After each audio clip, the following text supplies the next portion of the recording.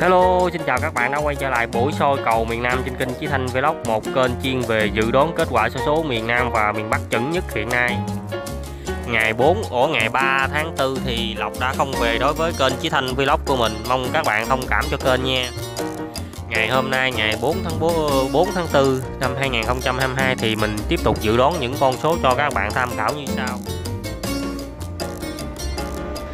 Đài thành phố Hồ Chí Minh thì mình dự đoán con số 19 và 57 ba con số thì mình dự đoán con số 266 Đài Đồng Tháp thì mình dự đoán con số 16 và 93 ba. Con số thì mình dự đoán con số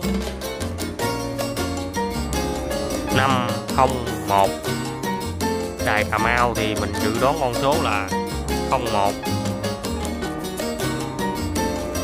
và số 7 11 ba con số thì mình dự đoán con số.